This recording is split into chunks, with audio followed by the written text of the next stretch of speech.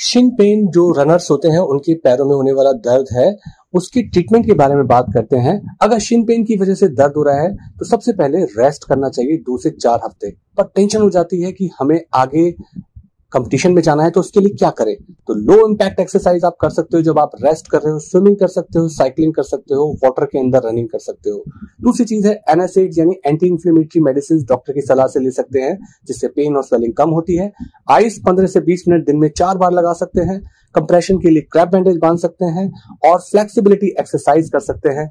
अच्छे supportive well fitting शू लेने चाहिए और उसके बाद ग्रेजुअली दोबारा से रनिंग स्टार्ट करनी चाहिए। एक बार पेन ठीक हो जाए तो।